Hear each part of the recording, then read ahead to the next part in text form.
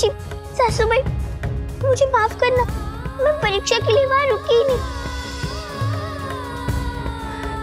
और कोई बिना परीक्षा दिए तो सफल भी नहीं होता ना।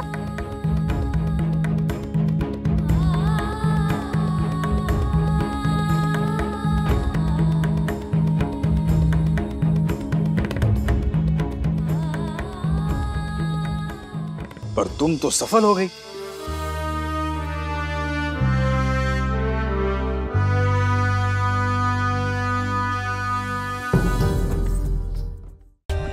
For more updates, subscribe to our channel, click the show links and enjoy watching the videos.